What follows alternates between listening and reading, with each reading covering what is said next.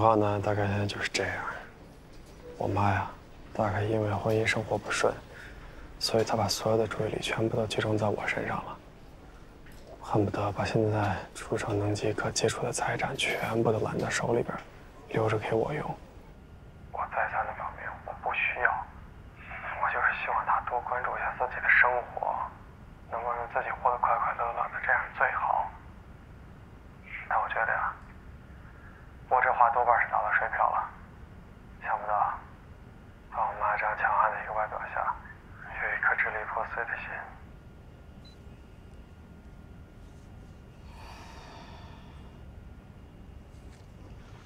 毕竟是亲妈，行，那我以后两手摊开，任你妈扒拉。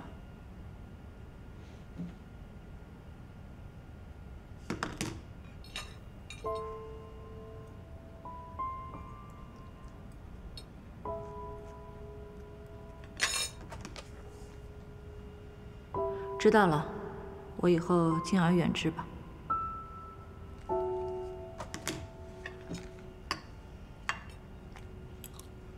哎呀，明明是戴维妈在蹭我们家的便宜，却硬被戴家说成什么伟大执着的母爱，还带着悲剧色彩。而且通过这件事啊，他们母子还什么相互沟通交流，感情还升华了。这下可好。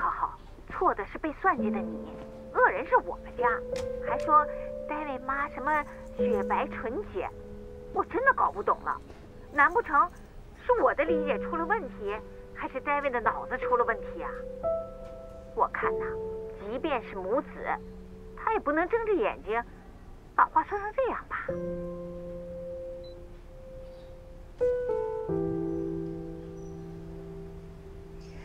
妈。本来我闷了一口气，让你一说，烟消云散了。那就好，反正啊，戴维啊是白瞎了他那张脸，失去了我对他的支持。现在理智下来了，想想，换成是我的话，也会给亲妈镀金，使劲把亲妈往好里想。就说你为了攒蚂蚁森林的步行数吧，又不愿意大冬天的出去跑步或者散步，怕伤了皮肤，就特意呢买了一个跑步机在家步行。这么不环保的一个行为，我都觉得特别有喜感了。所以啊，天下人都有一个亲妈绿色情，没办法。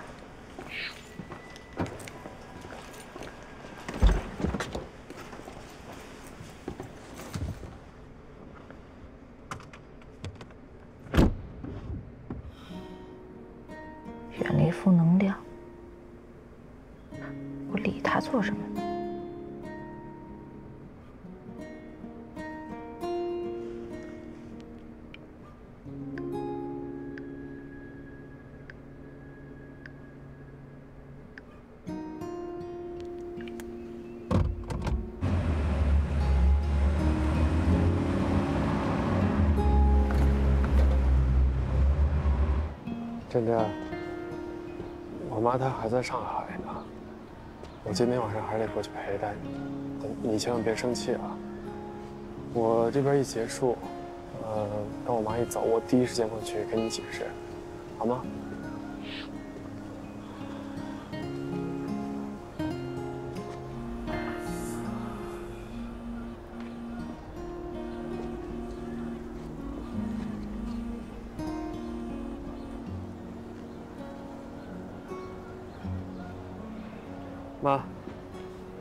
我这刚下课，你颈椎好点吗？好啦，我就跟你说吧，这睡觉比吃药管用。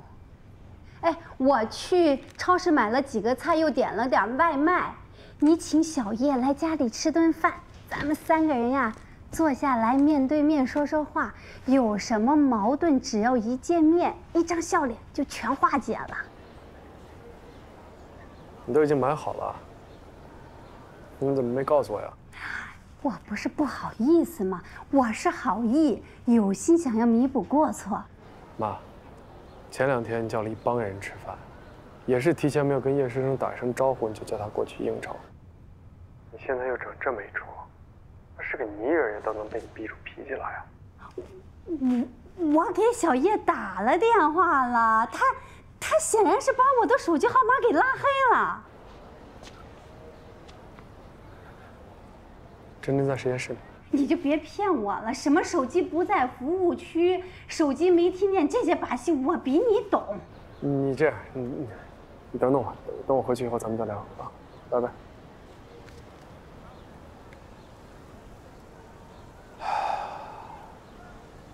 这就是传说中的婆媳大战。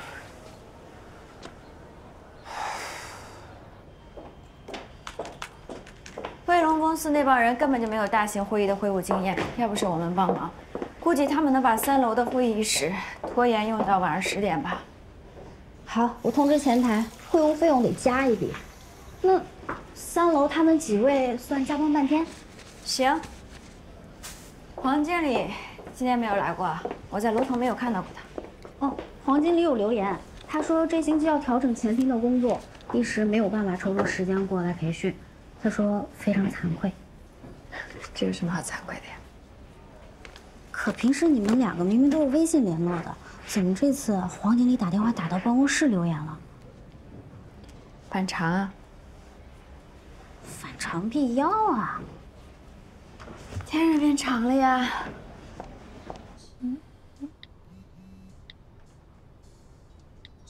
才分别，就已经开始想你了。你想我吗？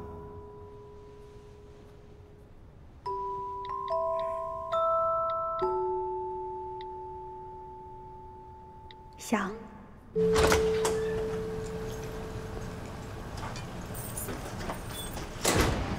做什么呢？这么香？我下班去菜市场买了青菜、花蛤，加上冰箱里的鱿鱼和虾仁，煮了一碗海鲜面。我自作主张给你也下了一碗。那我也太幸福了吧！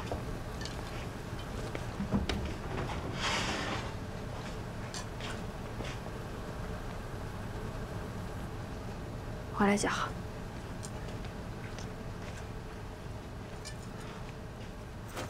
你老家又打电话来吵你了？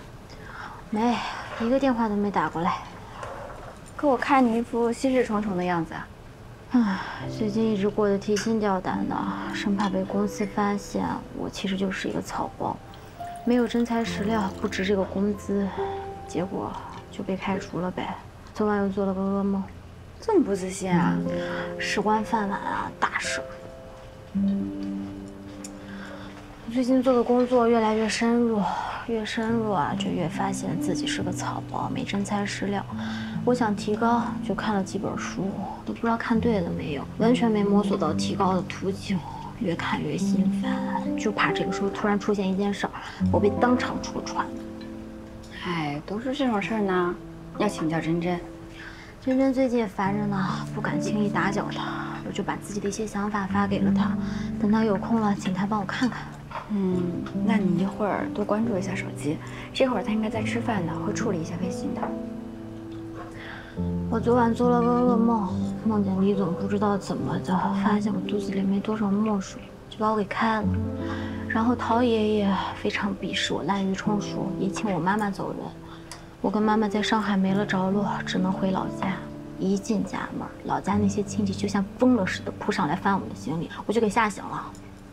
白天上班的时候，我就偷偷查了一下招聘的网站，发现我们这个专业啊，要求这个也得会，那个也得会，几乎是十项全能。工资才只有现在的一半，我却是这也半瓶子醋，那也半瓶子醋，吓都要吓死。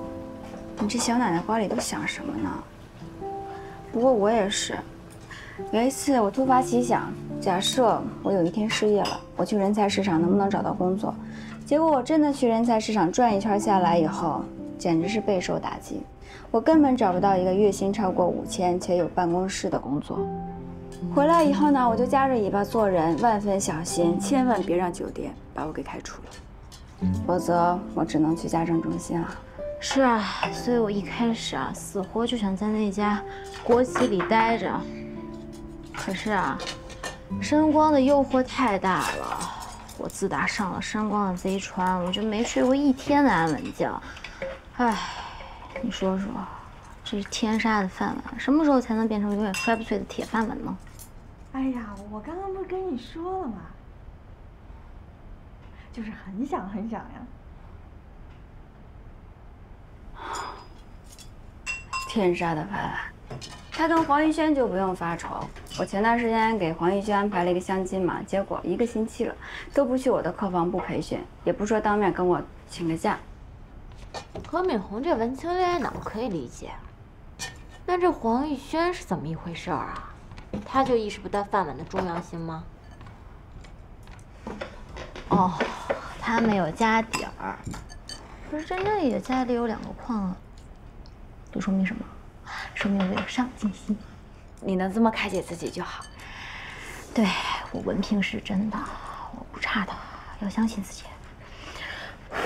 嗯，好吃，好烫。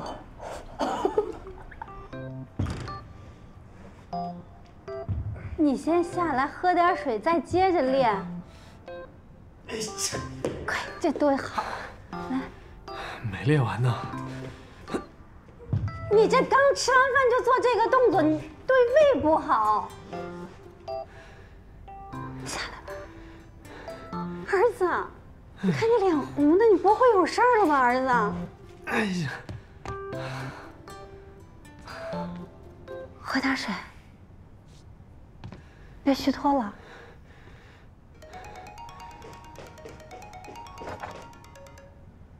喂，明天报关。好，好，明天一定要办好了。不行，去找小周。我上个星期刚跟他吃过一顿饭，趁着那顿饭的热度还在。对对对对对。什么？哎协力的拼单还没发货？为什么呀？我不在公司，你们不行。明天上午之前，我必须要看到发货。啊，不说了。你还练呀？这吃完饭到现在，你一分钟都不歇，你这样不行的。年轻人，我跟你说，我那个朋友圈前两天刚发了一篇消息，就你们这年轻人一天不注意，上班压力已经够大的了，回家像你这样还要健身，儿子呀，身体会受不了的，心脏也会不好。我跟你说。年轻的时候要知道爱惜自己。你看我年轻的时候不知道苦不着累，啥都自己硬撑着，自己往上扛。你看我这一身的病，这颈椎全都是因为年轻的时候不懂得疼自己。我跟你说，儿子，年轻人该休息要休息，不能逞能的。没事吧？我洗澡去了。哎，儿子。别忘了给小叶打个电话，他就算进了实验室不出来，早晚也得吃饭吧。行了，知道了，留过言了。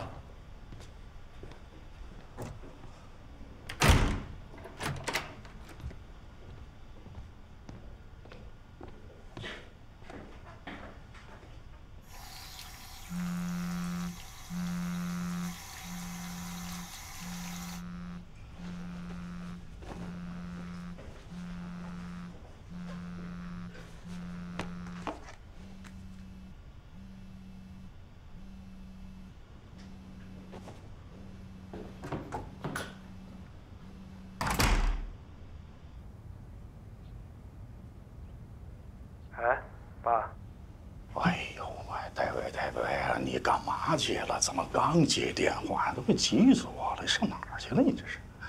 哎，我问你啊，你妈现在还在上海呢吗？这么想我妈，在呢。啊。哎，你妈在你身边呢吗？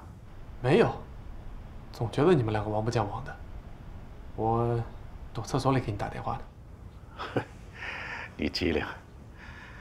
哎呀，都这个点儿了，你妈应该不会从上海回来了吧？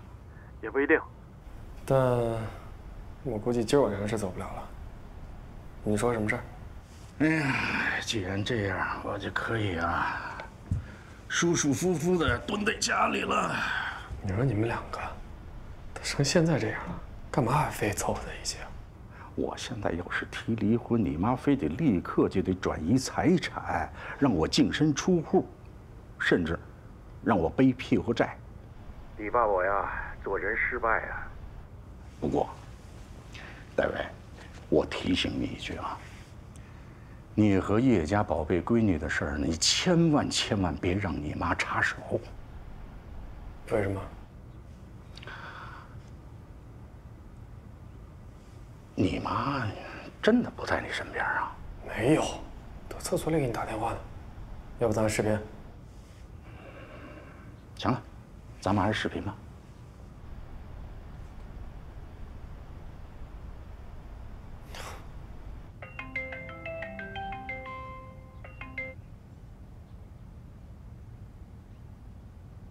教育员，洗手间呢？你刚说我妈算计是怎么回事？你还真在卫生间呢，那就好。你也果然在家。哼我混的凄惨呗。哎，行了行了行了，咱们长话短说啊，免得时间长了以后让你妈产生怀疑。我跟你说啊，小叶是你妈最中意的儿媳妇人选。为什么呢？因为他们家富，小叶呢又是叶家的唯一的女儿，小叶又醉心研究，无心继承，在你妈的眼里啊，这简直就是古人吃绝户的最好时机。如果这样的人要成为他的儿媳妇儿，那么叶家的财产就都是儿子你的了，而你的呢，就都是你妈的了。哎呀，叶家这么巨大的财产诱惑，我怀疑啊，你妈已经开始行动了。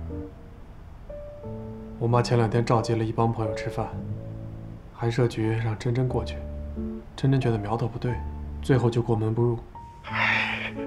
对了，哎呀，看样子你妈觉得小叶这个孩子专心研究，思想简单，嗯，容易骗才会马失前蹄。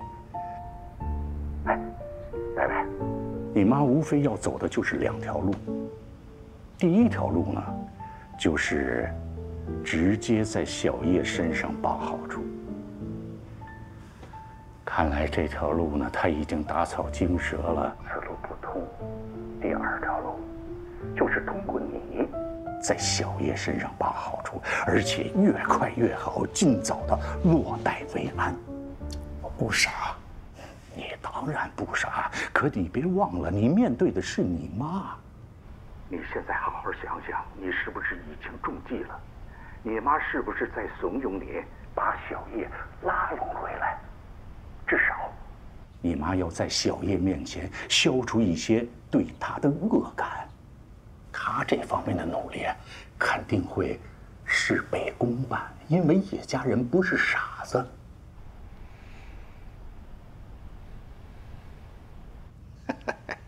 怎么样？看样子被我说中了吧？没你说的那么邪恶。哎呀，随你。然后啊，你妈会在你面前打造一副饱经沧桑、生无可恋、艰难度日，唯一牵挂的就是你这个儿子的可怜又坚强的母亲形象。可是你怎么办？这是你的亲妈呀！你会心疼，你呢就会产生一种负罪感，你就会跑到小叶那儿，嗯，割地赔款，求小叶对你妈呢宽容一些，理解一些，甚至让小叶答应一些你妈的无理要求。你之后在小叶那儿再做一些补偿，同时你妈。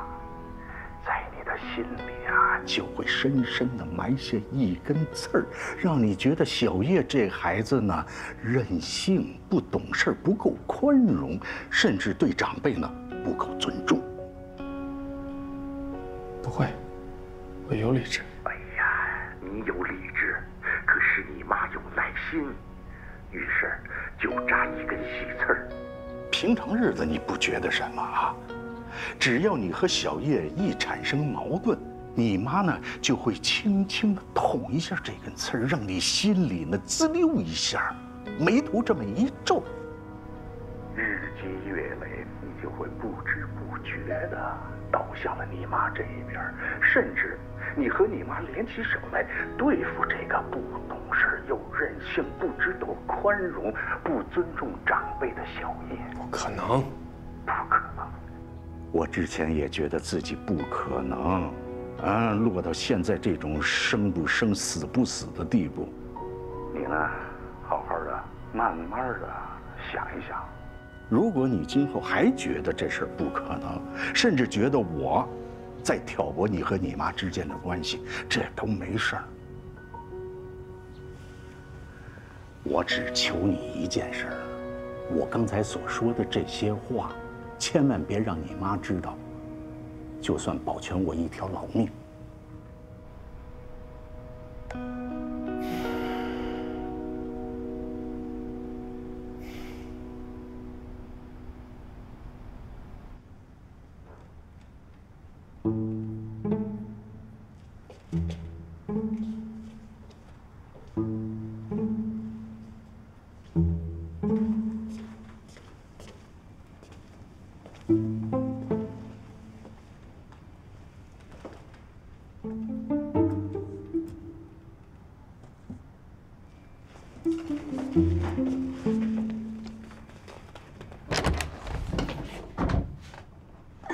小叶没怪我吧？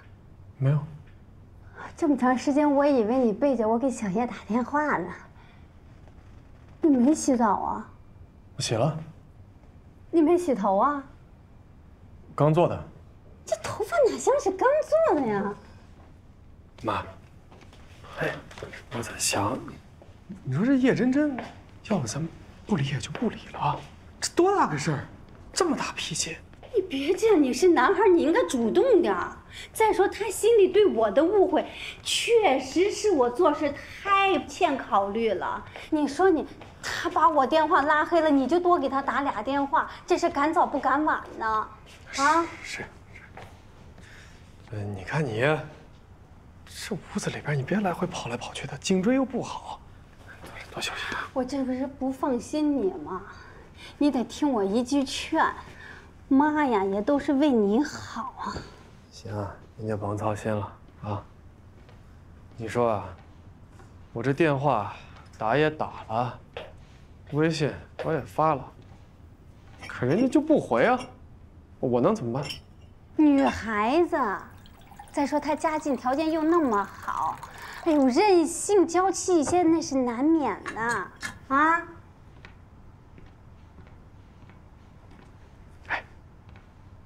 要不，我现在就去找他。好啊。哼，那我去去就回。啊啊。慢点开车。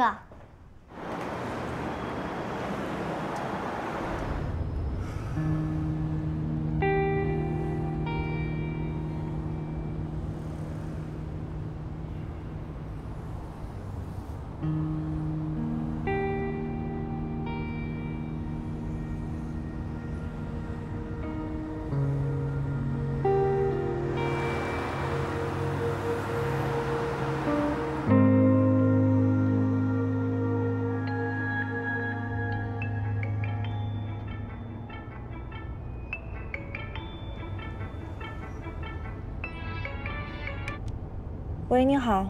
哎，你好，我是于飞雪。去年我那个，你还记得我吗？我现在在你们小区门口的公园里。啊，我记得，我记得。你找何敏红是吗？不是，不是，我找的是你。我听我堂哥说了，那一万块钱是你给我拿的。嗯，我今天来是想把钱还给你。哎，不用不用，没关系的，你拿着用吧。不行，这个钱我一定得还你。啊，你不来我不走啊。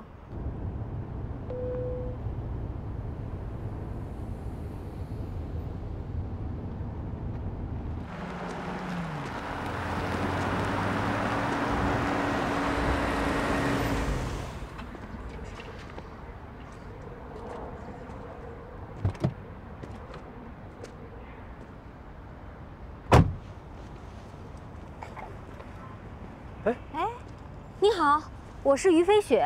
哦，你记得我吗？你在医院帮过我。你好，记得。你好，你好，好巧，好巧。哎，呃，你这……我在这等个人。啊，行，你先忙啊，再见，回见。哎。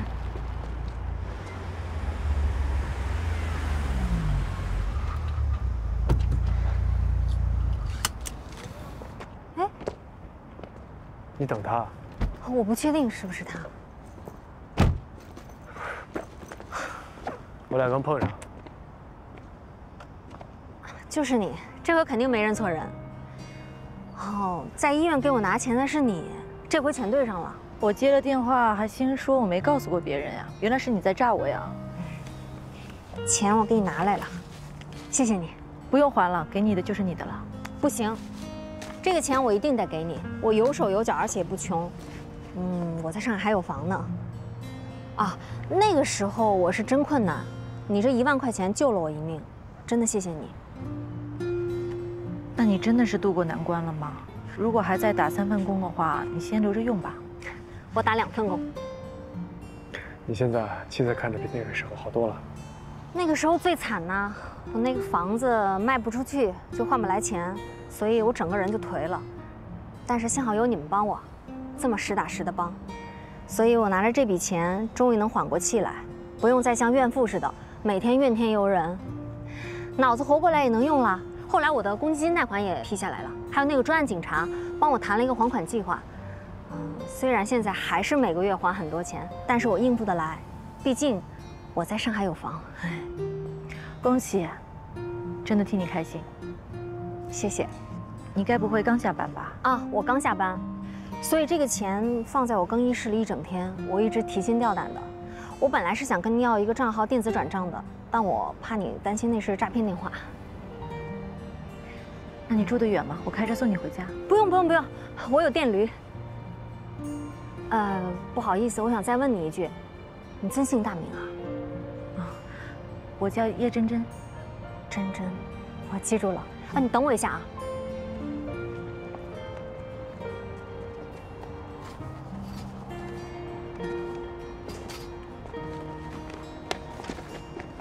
个给你的，谢谢。不用谢，谢谢你们，再见，再见，加油啊，一块加油。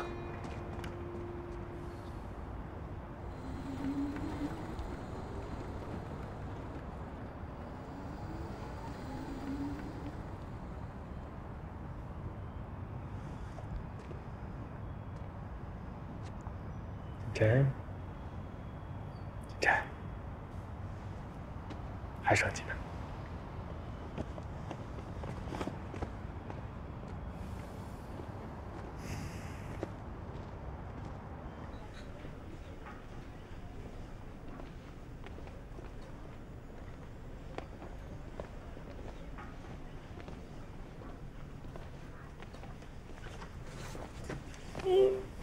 啊！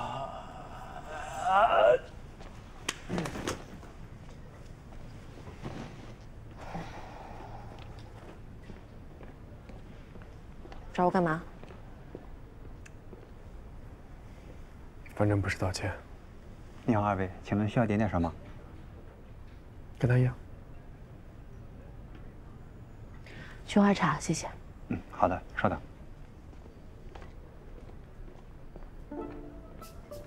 生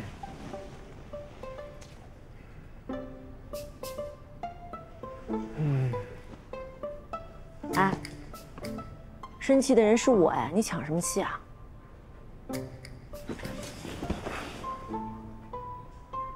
你都不知道我这两天经历了什么，我信仰崩溃。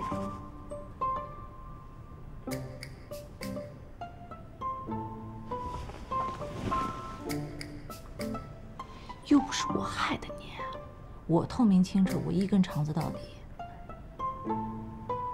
你要是现在才发现你错开了我。那只能说明你眼缺。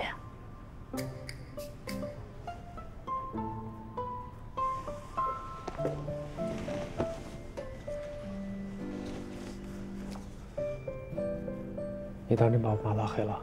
啊，我惹不起，躲得起。我还想把你妈的儿子也拉黑了。哟，干嘛？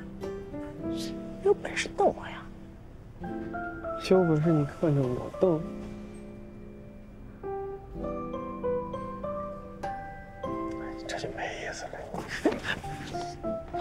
好了，开开玩笑。你好，二位请菊花茶。谢谢，慢用。好了吧，不行吗？好了，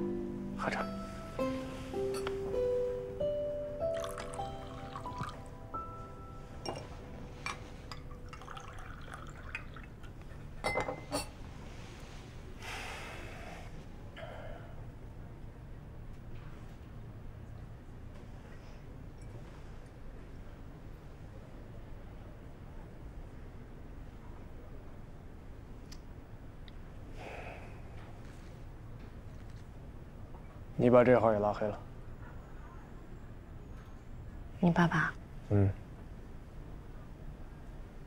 拿着呀，赶紧拿。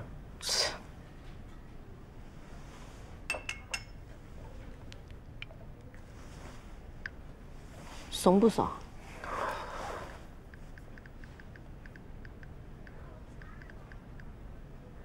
完了没有？拉黑了。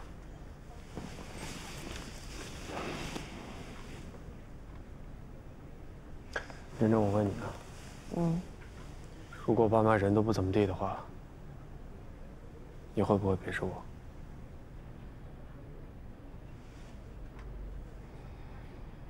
不瞒你说，势必会影响到我对你的态度。我知道了。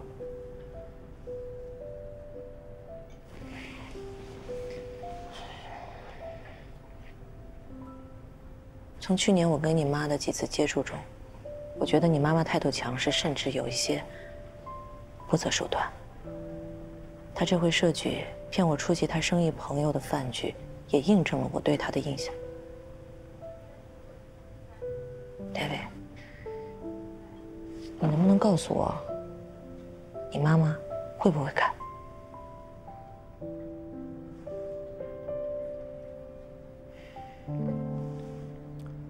我爸今晚上给我打了好几个电话，他确认了我妈今晚上住上海不回家之后，他乐开花了。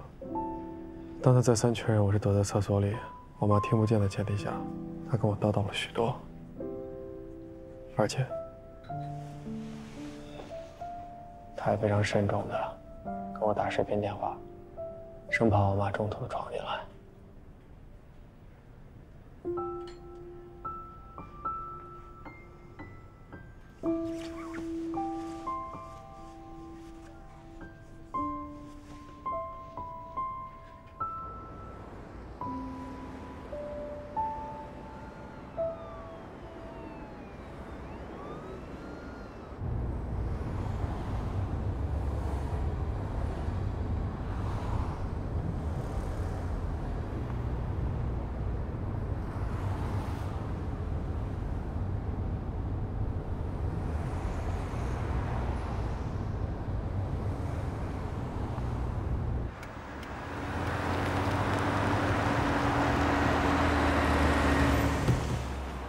前面你小区，我知道啊。我就在这下车了，免得撞上你妈。万一你妈妈在大门口或者停车场守株待兔什么的呢？放心吧，我妈她有颈椎病，而且也好，我陪你在这等吧。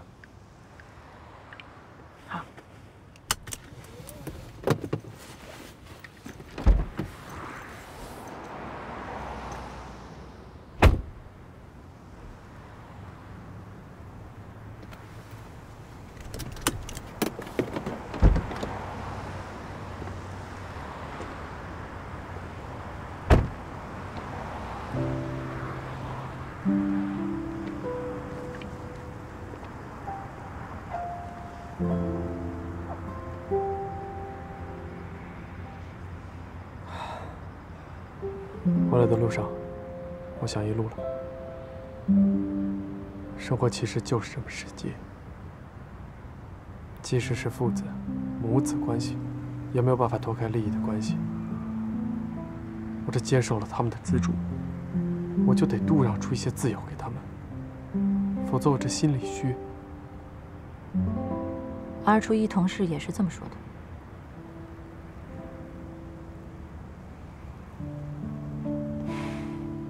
好了，我接下来打算找一个工资高一点的工作，尽快从这儿搬出去。我也会收回一些放在爱好上面的时间，我一定让自己做到不求不靠。于飞雪那样一个女孩子都可以做到自强不息，我一定可以做得比她好。真的。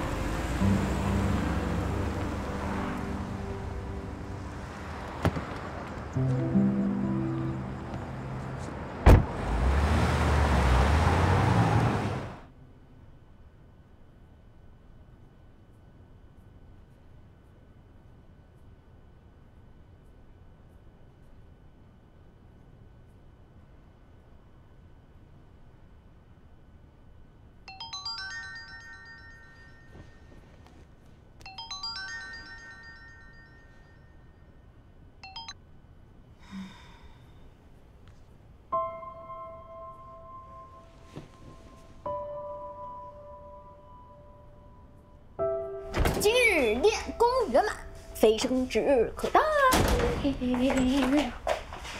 哟，何姑娘粉面含春，风流从头流到脚。本大仙儿掐指一算，你红鸾心动，好事已尽。关你什么事儿？哎，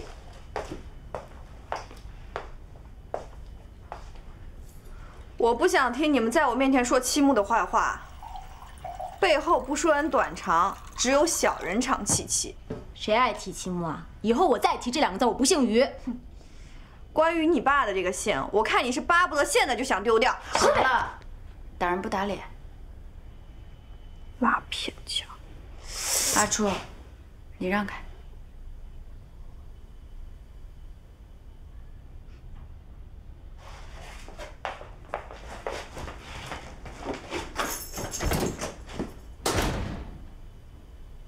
好了，阿初，别放在心上。说的有道理啊，我还真想改成我妈这一项，可以考虑考虑。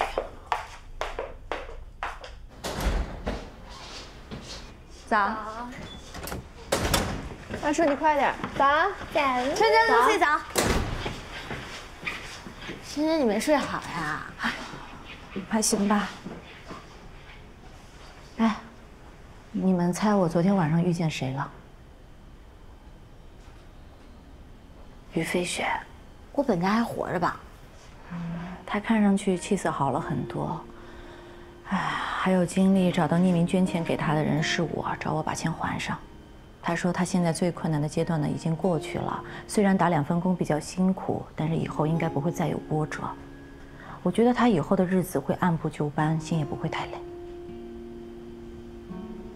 那他那房子呢？说是在警察的帮助下谈妥了还债方案，又申请到了按揭。挺好的，只要他以后长点心，也算是在上海站稳脚跟了。嗯，我也很为他高兴。琪琪啊，哎，你放心吧，他当时应该是崩溃了。我看他现在说话做事呢，都有板有眼的，好得很。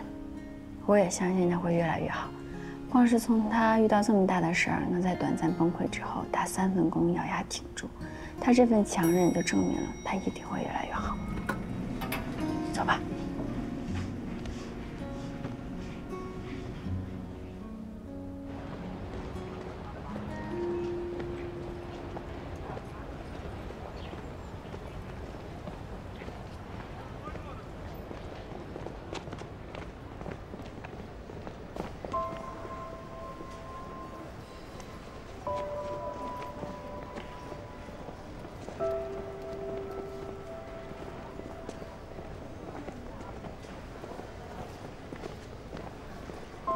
大姐，哎呀，你都找到这儿来了。哎，大姐，你这身衣服真不错啊，精气神足了很多，感觉跟我上次见你都不一样了呢。有什么事儿说。大姐，你难道真想扔下一家老小不管吗？这爸妈再穷也是你亲爸妈，我再穷也是你亲弟弟。如今一家人凑点路费送我来上海找你，你就这么躲着不见我吗？杜经理，怎么了？老丁，你跟他们说一声，我迟到一会儿。我们老朱家命根子来了。你们上班不用打卡吗？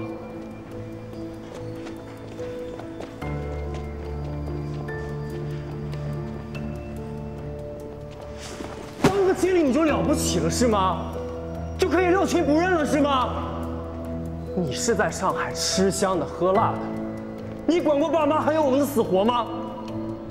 妈，你不管也就算了，你还处处给我使坏，我好不容易谈了个女朋友，被你搅黄了。